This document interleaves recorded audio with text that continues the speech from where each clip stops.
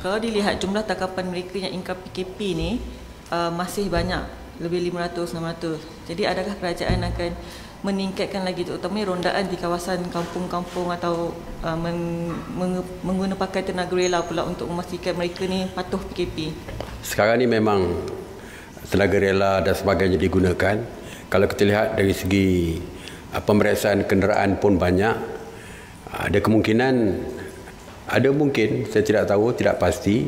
Kemungkinan juga compound 1000 tu terlalu rendah. Mungkin. Kalau kita lihat di luar negara di Singapura misalnya mulai 17 April semalam. Mulai 17 April ini ya 17 April hukuman pesalah pertama adalah 10,000 Singapura Singapura dolar kesalahan kedua 20,000 Singapura dolar.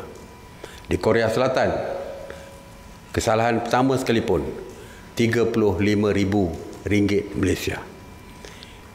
Begitu juga di negara-negara lain. Di Indonesia pun, tak silap saya, 300 juta rupiah.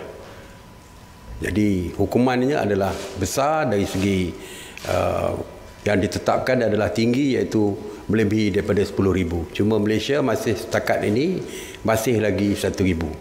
Mungkin kita nak minta mungkin pihak Kementerian Kesihatan berbincang dengan pihak peguam negara, mungkin kalau perlu mungkin kita boleh naikkan lagi denda ataupun compound yang boleh dikenakan.